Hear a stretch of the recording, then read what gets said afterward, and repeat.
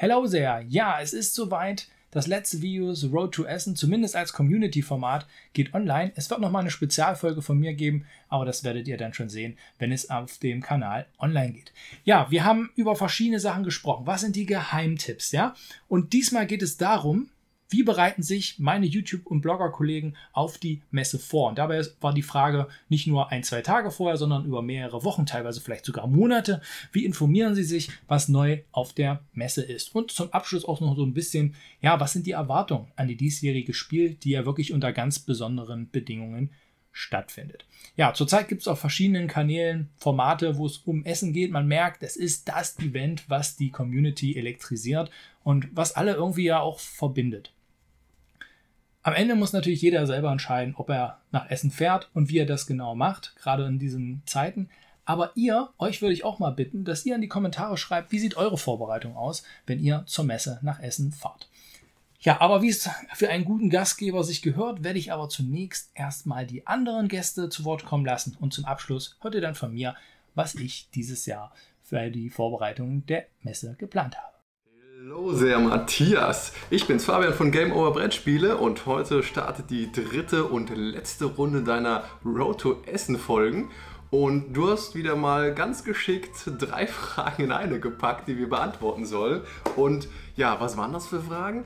Ähm, zum einen hast du gefragt, was wir als Vorbereitung machen für die Messe, wie das da so aussieht, was wir am Tag oder am, am Morgen vor der Messe machen und äh, was unsere Erwartungen für die Messe sind. Und das möchte ich jetzt einmal kurz zusammenfassen. Zur ersten Frage. Was machen wir zur Vorbereitung der Messe?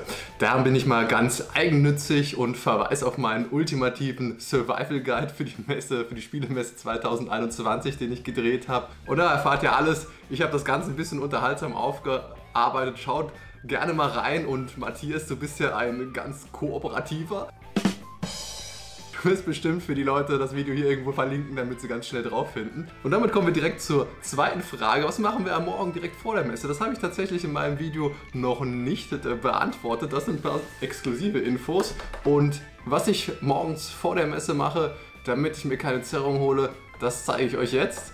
Kurz bevor ich zur Messe fahre, beginne ich morgens mit einer Runde Tsukuyumi Frontheben. Das stärkt eure Schulter und äh, hinteren Rückenpartien, damit ihr ganz gut die Spiele, ohne euch einen Krampf zu holen, eine Zerrung zu holen, von den Riesenstapeln runternehmen könnt.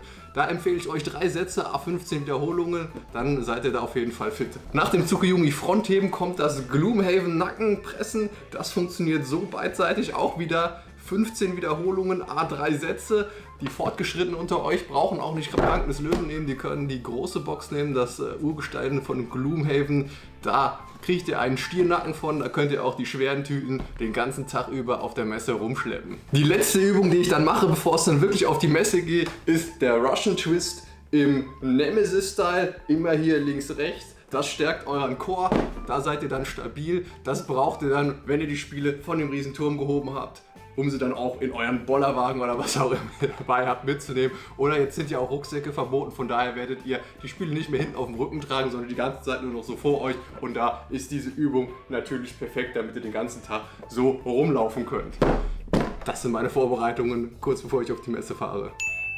Und der letzte Teil deiner Frage, was haben wir für Erwartungen an die Messe? Meine Erwartungen sind folgende, es ich erwarte wieder, dass es genauso cool wird wie in den anderen Jahren. Natürlich müssen wir Maske tragen, natürlich ist es ein bisschen teurer geworden, naja, ein bisschen, einiges teurer geworden, aber das werden wir verkraften. Nächstes Jahr schaut alles wieder hoffentlich dann auch besser aus, aber für diese Messe erwarte ich mir trotzdem viel Spaß, trotzdem viele neue coole Spiele. Natürlich den Baumstriezel, wie ich es in Folge 2 erwähnt habe, den erhoffe ich mir natürlich auch ganz stark und ähm, auch vielleicht viele neue Leute kennenzulernen, ein bisschen auszutauschen. Jetzt auch ähm, kennt man ja auch einige von den B-Rex-Tagen beispielsweise, da trifft man sich bestimmt. Und ähm, ja, was ich vielleicht noch erwarte, ist, dass etwas weniger Leute da sind. Also, dass die Messe dieses Jahr nicht so besucherstark wird, was aber nicht unbedingt was Negatives sein muss. Ich denke, es werden trotzdem noch genug Leute kommen, damit da ein richtig cooles Messe-Flair entsteht. Das war's von mir soweit. Macht's gut, bis dann. Ciao.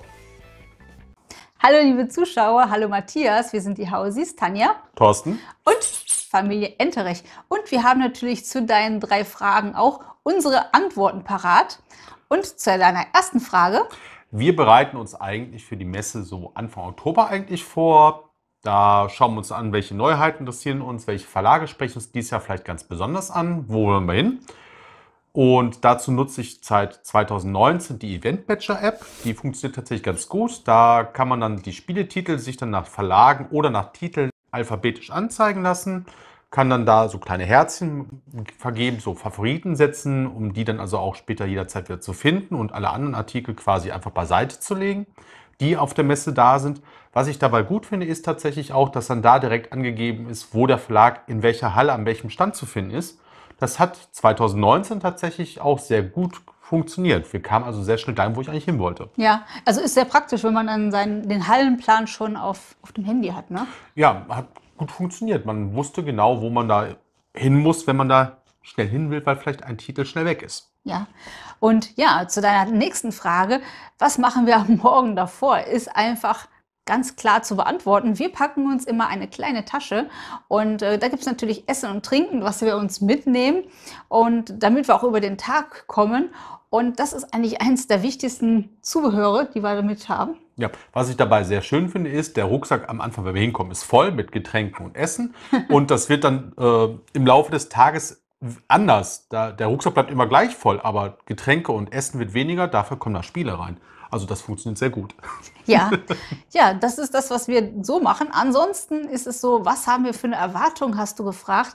Eigentlich, wir sagen in diesem Jahr, die Erwartung, wir haben keine große Erwartung, weil ähm, wir lassen uns einfach überraschen. Ja. Wir haben letztes Jahr die Spielmesse total vermisst, dieses Vorortsein, hm. dieses ähm, Gefühl, durch die Halle zu gehen, Sachen zu entdecken, die man vielleicht übers Internet nicht entdecken kann. Einfach dieses Vorortsein. Das komplette Ambiente, die Atmosphäre einfach. Genau. Ne? Leute sehen, gesehen werden, mal Hallo sagen. Genau, alte Bekannte wieder treffen. Also das ist einfach immer so ein Feeling. Und ähm, bei uns ist es natürlich auch ein Heimspiel. Deswegen sind unsere Vorbereitungen natürlich auch ein bisschen geringer als bei den ja. einen oder anderen, weil wir halt in Essen wohnen, ist für uns halt etwas ja. leichter alles. Und ähm, ja, wir haben also die Erwartung nicht so hoch, weil wir uns einfach freuen, es geht wieder los, es geht weiter und wir lassen uns einfach überraschen, was da auf uns zukommt. Richtig. Ja, und in diesem Sinne, man sieht sich ja hoffentlich und ja, wir freuen uns, den einen oder anderen zu sehen und wir sagen viel Spaß auf der Messe. Hi, wir sind die Brettspielgare. Ja, danke Matthias für die neue Einladung ja, zu deinem tollen Format. Ne? Wir freuen uns wieder dabei sein zu dürfen. Und diesmal ging es ja um die Vorbereitung zur Messe. Ja, und beim ersten Messebesuch waren wir gar nicht vorbereitet. Voll überfordert. War aber ein cooles Erlebnis. Ja, ne, aber ja, wir wussten ja auch gar nicht, was da auf uns zukommt und so und waren völlig erschlagen von den ganzen Spielen, die es da gibt. Und ähm, ja, konnten natürlich auch gar nicht alles angucken und deswegen machen wir es jetzt immer so, dass ich mir halt vorher auf Boardgame Geek die komplette Liste dann angucke, was es für Spiele alles so gibt und dann filtern wir schon mal, was wir uns angucken, was uns so interessiert und dann machen wir uns auch genau die Pläne, an welchen Tagen gehen wir wohin, zu welchen mhm. Verlagen und so weiter. Und das klappt eigentlich ganz gut. Ich selber kümmere mich um die Taschen. Da haben wir schon ganz verschiedene Taschen, einen richtig großen Rucksack, eine Kajong-Tasche, ein paar Taschen nehmen wir auch noch mit, so einfache Rucksäcke, ja. damit wir einfach alles schleppen können. Ne? Und einen coolen Trolley haben wir uns auch gekauft. Mhm. Der wird mich auch jetzt noch schön unterstützen. Ja, ist aber auch wirklich sehr wichtig, dass man gute Taschen hat. Ne, ist nicht zu ähm, vernachlässigen, auf jeden Fall. Ja, das einmal ganz kurz zu unseren Vorbereitungen zur Messe. Ne, wenn ihr das Ganze ein bisschen ausführlicher euch anschauen möchtet, wir haben selber ein Special zur Spiel hochgeladen. Da reden wir auch über dieses Thema und erzählen noch ein paar mehr Sachen, ein paar mehr Einzelheiten. Ja, dann hat Matthias ja noch gefragt, ähm, ja, wie der Tag vor der Messe so abläuft. Ne? Ähm, ja. Ja, bei mir ziemlich entspannt. Bei mir nicht. ne, ich kann auch nachts überhaupt nicht schlafen. Ne, ich meine, wir reisen ja schon einen Tag vorher an, sind dann im Hotel und so weiter. Also wenn es nach mir geht, könnte auch schon 0 Uhr es losgehen und ich bin dann da und ich kann auch morgens nicht schlafen, ich kann auch nichts essen. Ne? Ja.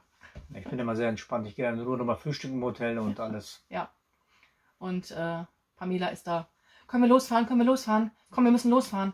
Ja, wir müssen wir einen Parkplatz kriegen. Genau, sonst kriegen wir keinen Parkplatz. Sonst kommen wir nicht rein. Mhm. Ja, gut. Ne, so ergänzen wir uns ganz gut oder gleichen uns gegenseitig so ganz gut aus. Ja, zu guter Letzt möchte Matthias ja noch wissen, wie unsere Erwartungen zu Spiel sind. Ne, und die Spiel ist ja für uns quasi ein doppeltes Weihnachten. Deswegen sind wir natürlich voller Vorfreude und freuen uns auf ganz viele Dinge. Ja, wir freuen uns auf tolle Neuheiten, aber auch auf coole Promos. Ne, und ansonsten freuen wir uns vielleicht in einem oder anderen Verlag mal ein bisschen näher kennenzulernen. Ne, und auch, ja, alte Bekannte zu treffen und auch Freunde oder auch neue Bekannte. Ne, also, wenn ihr uns seht auf der Spiel, gerne mal anquatschen. Würden wir uns freuen. Ja, und ansonsten ganz viel Spaß und ja, wir freuen uns einfach da zu sein. Ne? Ja. Ja, das wird sicherlich eine ganz tolle Zeit. In diesem Sinne, alle für Brettspiele. Ein Brettspiel für alle. Tschüss. Ciao. Matthias, du wolltest wissen, wie man sich auf die Spiel vorbereitet. Und ich bin gespannt, was der ein oder andere hier so erzählt, aber ich verrate natürlich nichts. Es ist ein Geheimnis und ich werde dieses Geheimnis nicht preisgeben. Bis dann. Nein, Quatsch. Ähm, Spielvorbereitung ist halt, also man kann, man kann sich auf die unterschiedlichsten Arten und Weisen vorbereiten. Ich mache immer, ich gucke natürlich auch die ganzen YouTube-Kanäle, die großen, die ja für die großen Kanäle diese, diese Vorschauen machen. Das ist immer ganz interessant, ist aber auch dann teilweise mehr eher so eine Bestätigung, weil ich ähm, hauptsächlich meine Informationen aus der Boardgame Geek Seite und den dort gelisteten Spielen beziehungsweise auch den, den Internetseiten der Verlagen direkt ähm, ja, mir reinhole, die Informationen. Also es gibt immer so eine kleine Spiel-Preview-Liste, ähm, die sozusagen nach und nach gepflegt wird auf Boardgame Geek. Das ist immer ein ganz cooler Anhaltspunkt. Da kann man auch dann immer anklicken, ob man sich dafür interessiert oder nicht interessiert oder ob das ein Must-Have ist und so. Da kann man sich eine kleine schöne Liste machen. Dann gucke ich mir auch immer gerne die ähm, die Boardgame Geek Seiten der Verlage an und da auch die Linked Games, die ich dann nach Jahr sortiere und dann gucke ich auch immer, okay, was haben die denn da schon so gelistet? Ähm, ist natürlich schwierig, weil man immer nicht so genau weiß, kommt das Spiel dann wirklich zu Spiel oder ist es irgendwie nur eine Demo oder was auch immer. Ähm, aber so eine grobe Liste mache ich mir dann irgendwie in Excel, verlinke mir die Games, ähm, habe dann so einen Farbcode, ähm, ob ich das sehr, sehr interessant finde oder nicht so interessant oder vielleicht habe ich es auch schon vorbestellt und dann muss ich es mir auf der Messe ja eigentlich auch noch kaufen. Und ähm, ja, so, so sieht dann so die, die grobe Vorbereitung aus und dann 14 Tage vor der, vor der Spiel kommt ja auch noch der Spielguide. Da gibt es dann auch noch mal ein paar Informationen. Dann kann man sich vielleicht auch ja schon so einen kleinen Hallenplan, äh, so einen Laufplan machen, wo man vielleicht am ersten Tag am, am liebsten hin möchte. Es gibt natürlich auch so das ein oder andere Spiel, was dann ziemlich gehypt ist, wo man aufpassen muss, weil die erste Auflage so klein ist, dass man auch noch ein Exemplar bekommt. Da ja, rennt man dann irgendwie als erstes hin. Äh, ja, aber am coolsten ist es eigentlich, sich überraschen zu lassen auf der Spiel, die kleinen Schätze zu entdecken und nicht nur die, die großen Verlage abzuklappern, sondern ja in den Hallen, wo auch die kleineren Verlage sind, da die Schätze zu entdecken. Und das sind die Spiele, die man einfach am Anfang oder vor der Spiel gar nicht auf dem Zettel hat und haben kann. Und ähm, da deswegen gehe ich eigentlich hauptsächlich zu Spiel. Die ganzen anderen großen Spiele kann man sich auch bestellen. So, da muss ich eigentlich theoretisch auch nicht ähm, auf die Messe für gehen. Und welche Erwartungen habe ich an die Spiel? Ähm, eigentlich habe ich gar nicht so die hohen Erwartungen. Ich erwarte, dass es ein bisschen leerer wird als letztes Mal. Ich hoffe, dass einigermaßen viele Verlage da sind. Ein paar, von denen weiß man ja schon, dass sie nicht da sind, aber das ist, ist auch nicht so wild. Und ich hoffe einfach, ich habe die Erwartung, einfach sehr, sehr viel Spaß zu haben. Und vor allen Dingen habe ich die Erwartung, nach der Spiel in der Woche ordentlich mit richtig, richtig vielen coolen Spielen hier zu sitzen und die äh, auszuprobieren und ähm, ja, so ein richtig positives Fazit äh, ziehen zu können, was diese Messe angeht. Ja, und ich bin einfach gespannt, wie das so wird. Donnerstag bis Samstag bin ich da am Start. Und ja, das war's äh, eigentlich so von mir. Und dann wünsche ich euch noch einen schönen Tag. Spielt ordentlich, bleibt gesund und bis bald. Ciao, ciao.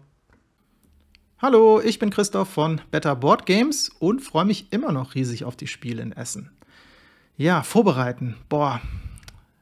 Ich mache mir mal super viel Gedanken und im Endeffekt mache ich dann doch alles anders als gedacht. Man schaut natürlich vorher, welche Spiele interessieren einen, welche Verlage will man abklappern und wen will man noch treffen.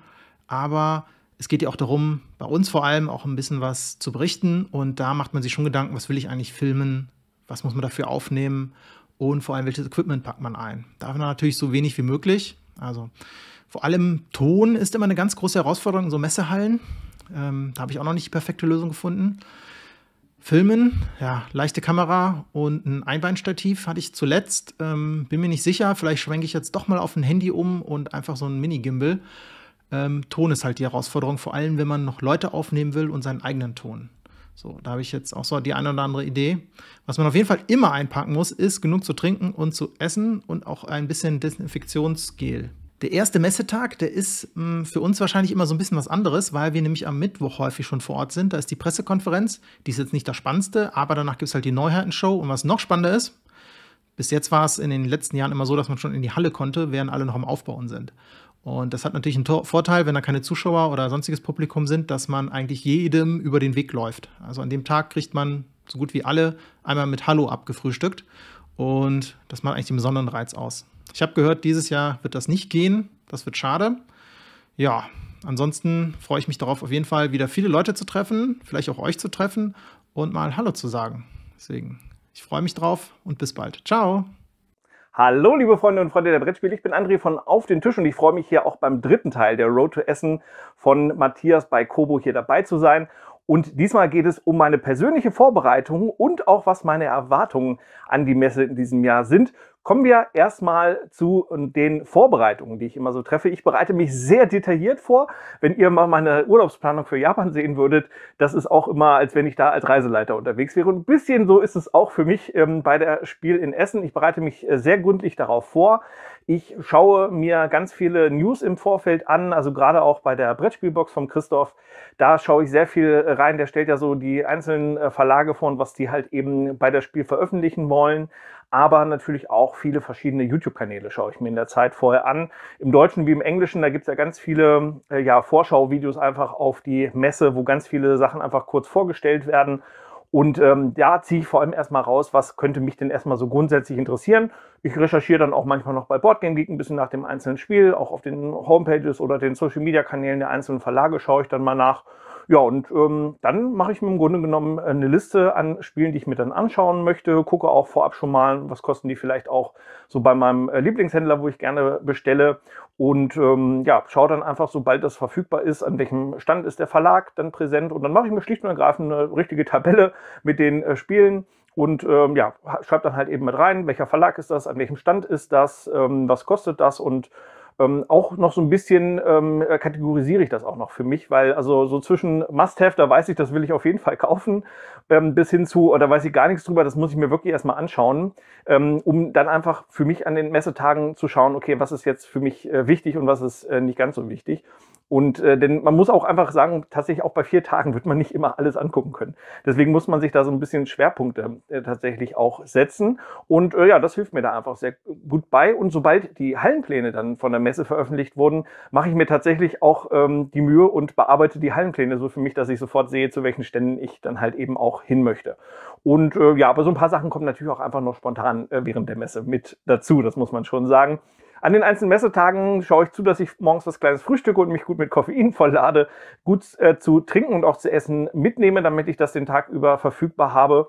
Und dann geht es möglichst früh einfach zur Messe rüber, um einen guten äh, Start zu haben in die Hallen. Und äh, ja, meine Erwartungen dieses Jahr für die Messe sind erstmal, dass ich nicht so richtig weiß, was ich erwarten soll. Ich glaube, es könnte etwas weniger voll sein, einfach aufgrund der Begrenzung der teilnehmenden Zahl, so wie das bislang ausschaut. Und ich bin halt auch sehr gespannt, wie das dann sein wird, da die vier Tage die ganze Zeit mit Maske rumzulaufen, außer im Außenbereich. Das wird sicherlich ein bisschen anstrengender, aber am Ende überwiegt für mich einfach total die Vorfreude auf die Messe, denn es ist ein riesiges Brettspielfest mit ganz, ganz vielen Leuten und ich glaube, auch mit Maske wird das am Ende gut funktionieren. Und ich freue mich jetzt riesig drauf und hoffe, dass ich auch einige von euch dann auf der Messe sehen werde. Und bis dahin sage ich bis bald und ciao. So, da waren ja wieder einige gute Tipps dabei und wahrscheinlich gibt es auch wieder ein paar Doppelungen. Bei mir ist es so, es gibt für mich zwei ganz große Schritte. Man kann natürlich ganz früh anfangen und sagen, man besorgt sich irgendwie ein Zimmer und äh, ein Hotel, so dass man irgendwie übernachten kann. Klar, ja. Aber ich habe mir gedacht, ich konzentriere mich auf zwei Punkte bei meinen Vorbereitungen. Und da gibt es zum einen eine Seite bei Boardgame Geek, wo man alle Neuerscheinungen sieht, die es dieses Jahr auf der Messe gibt. So, hier haben wir die Seite. Ihr könnt bei Google auch ganz einfach eingeben, Spiel 2001 äh, Preview Boardgame Geek oder geht halt bei Boardgame Geek rein und sucht sie dort direkt. Genau, und dort habt ihr eine Liste, ihr seht, hier sind aktuell 362 Titel drin. Das sind alles Neuerscheinungen bzw. Spiele, die jetzt auf der Messe Essen präsentiert werden sollen. Und äh, manchmal es, sind es Spiele, wo man dann sagen kann, ah, okay, die, die kenne ich doch schon. Vielleicht ist es dann eine andere Sprache, in denen es jetzt, ähm, der es jetzt auf den Markt kommt. Genau, dann seht ihr hier die Spiele. Ähm, hier steht jetzt Self-Published, deshalb ist das hier vorne gelistet. Dann habt ihr hier die Verlage, hier Two, Tomatoes Games, For Universe, ne? Dann habt ihr hier die Spielnamen, die üblichen Daten, die man halt so vom Board irgendwie kennt, dann auch mit dem Preis der damit angegeben ist. Das muss nicht zwangsläufig der auf der Messe sein, ist meist so der UVP. Und dann hier unten haben wir, ähm, welche Mechaniken dazu gehören. Und wenn ihr mehr Informationen wollt, könnt ihr noch hier drauf klicken. Da stehen noch mehr Mechanismen mit dabei. Ähm, genau, und dann eine Spielbeschreibung in der Regel, die dann irgendwie vom Publisher insgesamt ist. Genau. So, und dann könnt ihr, wenn ihr eingeloggt seid, so wie ich, hier draufklicken, Not interested, kein kooperatives Spiel. Finde ich also in dem Moment nicht so spannend. Ihr könnt hier auch ähm, filtern, ja, und ähm, euch dann raussuchen, was genau ihr haben wollt. Na, und ich klicke dann erstmal immer Not interested, Not interested. Gucke dann hier, oh, kooperatives Spiel. Aha, das klingt interessant. Zwar nur Französisch und Englisch. Wenn ihr jetzt auf der Spiel seid, seht ihr, wie ist die Verfügbarkeit? Es gibt es noch nicht zu kaufen, sondern man kann es anspielen als Demo. Cool packe ich bei mir auf Interested. So, Cascadia habe ich schon. Brauche ich nicht mit draufklicken. So, und so könnt ihr diese Liste nach und nach führen. Ihr geht die ganzen Titel durch. Sind natürlich bei 362 einige und es werden auch noch welche dazukommen. Also selbst in der Woche davor kommen immer noch ein paar einzelne ähm, ja, mit dazu meistens findet ihr eigentlich auch dann nochmal eine Information, äh, an welchem Stand ihr die Spiele findet. Also manche Publisher geben das äh, mit an. Das könnt ihr dann auch hier finden. War zumindest in den letzten Jahren so, wenn ich mich nicht irre. Ja, und wenn nicht, äh, dann werdet ihr meinen zweiten Tipp dann äh, verwenden können, um die Spiele zu lokalisieren. Also das ist für mich eine der wichtigsten Seiten, wo ich mich informiere, okay, welche Spiele kommen dieses Jahr auf das Spiel, welche kann ich anspielen. Ja, und äh, das ist, denke ich, auch für euch ein ganz guter Tipp, wenn ihr die Liste noch nicht kanntet, ähm, dort mal vorbeizuschauen, um das so ein bisschen ja, zu koordinieren, was ihr euch anschauen wollt, was schon geht, was ihr als Demo habt und was man vielleicht sogar vorbestellen kann. Ja, diese Liste eignet sich für mich ganz hervorragend, um sich vorzubereiten. Und ich finde das immer ganz spannend, dann dort zu sehen, wie auch Neuheiten dazukommen. Also ich fange schon einige Monate teilweise vorher an, wenn die ersten Sachen gelistet sind, immer wieder zu gucken. Und wie gesagt, durch die Reiter könnt ihr genau schauen, was ihr dort sehen wollt. Für mich halt kooperative Titel. Mein zweiter Tipp dreht sich rund um die Seite Brettspielbox. Nämlich der Chris, der macht sich immer eine Riesenarbeit. Die Messe präsentiert euch halt auf ihrer Seite Lagepläne mit den verschiedenen Buchstaben, aber ihr müsst dann normalerweise dann in, das, in den Guide gucken und das irgendwie zuordnen. Und für mich ist immer ein festes Ritual, eine Woche vor Messebeginn lade ich mir die Pläne runter, hole mir die Textmarker und fange an zu markieren, wo sind jetzt also die Spiele, die ich mir bei der Boardgame Geek Seite rausgesucht habe und an welchem Stand werde ich sie finden. So kann ich ganz gezielt rumlaufen. Damit verbringe ich meist auch meinen ersten Tag. Also Chris, an dieser Stelle mal vielen Dank dafür, dass du das machst, dass du dann die Namen direkt in diesen Plan einfügst, sodass man nicht diese, diese Übertragung machen muss. So kann man einfach nur diese Pläne nehmen und auf die Messe gehen. Ich habe die dann immer so zusammengetackert, da hat man dann die einzelnen Hallen und so weiß ich, wo ich was finde. Und das ist super hilfreich, gerade bei den kleinen Verlagen, die halt nicht so große Stände haben, denn in der Messe gehen die dann halt auch manchmal ein bisschen unter. So bringe ich eigentlich in der Regel meinen ersten Tag zu und ähm, danach, wenn ich diese Sachen abgeklappert habe, die ich mir fest vorgenommen habe, schlendere ich meist am letzten Tag ein bisschen umher oder manchmal auch am Ende des Tages und lasse mich so ein bisschen treiben und schaue, was es alles so gibt. Mir macht es aber richtig Spaß, mich darauf vorzubereiten. Die Vorfreude wird immer richtig groß, wenn ich diesen Plan ausgedruckt habe und dann mit den Markern anfange, ähm, meine Orte rauszusuchen und auch wieder festzustellen, wo ist der Striezelstand, ja, ähm, mit dem leckeren Kaminstriezel. Wenn ihr nicht wisst, was damit gemeint ist, schaut euch unbedingt das letzte Video an. Ja, und ähm, das ist echt eine Riesenhilfe. Also danke nochmal, Chris, dass du das immer wieder machst. Ich hoffe, wir haben eine schöne Messe in Essen. Ich muss ganz ehrlich sagen, ich weiß persönlich noch nicht, ob ich hinfahren werde. Ich werde es abhängig machen, wie, der, wie die Inzidenz aktuell ist. Denn ähm, am Ende ist es ja nicht nur eine persönliche Entscheidung, auch das Umfeld. Ich habe meine Oma hier, ähm, die eine Wohnung bei uns mit hat, die natürlich absolut zur Risikogruppe mit gehört. Die ist 92 Jahre alt und äh, ich habe meine beiden kleinen Kinder, ähm, die halt auch noch nicht geimpft sind. Und ja, da muss jeder am Ende für sich entscheiden und ich werde gucken, wie sind die Inzidenzwerte dann und spontan entscheiden, ob ich hinfahre oder nicht hinfahre. In der Hoffnung, dass es noch Karten gibt, gibt es keine Karten mehr, dann freue ich mich für die Messe, dass sie so viele Besucher haben werden und komme dann halt im nächsten Jahr wieder. Ich hoffe jedenfalls für alle, die hinfahren, dass ihr viel, viel Spaß habt, coole Sachen entdeckt und äh, ich bin auch sehr gespannt auf den Austausch danach. Welche Spiele haben sich bewährt? Welche Spiele sind vielleicht irgendwie Flops geworden, weil man sich mehr erhofft hat? Ja, was bleibt mir am Ende noch zu sagen? Ich will noch mal darauf hinweisen, auf die anderen Community-Formate von der Brettspielgarde, von den Houses, von Better Board Games, ja, von der Meeple Queen. Da gibt es unzählige Sachen. Schaut da unbedingt mal rum. Auch bei Instagram ist da viel zu finden, wo die Leute da zusammenhocken. Und ganz zum Schluss möchte ich noch mal sagen, vielen lieben Dank für all die YouTuber, Blogger, die hier mitgemacht haben bei dem Format, für all die tollen Nachrichten, die ich bekommen habe, für die Kommentare und vielleicht kommen noch ein paar dazu. Es hat richtig Spaß gemacht und äh, für nächstes Jahr werde ich mir in dem Zusammenhang wahrscheinlich auch noch mal was überlegen. Also dieses Community-Format wird sicherlich sein Revival finden. Ich wünsche euch eine schöne Zeit. Bleibt gesund. Bis dahin. Ciao.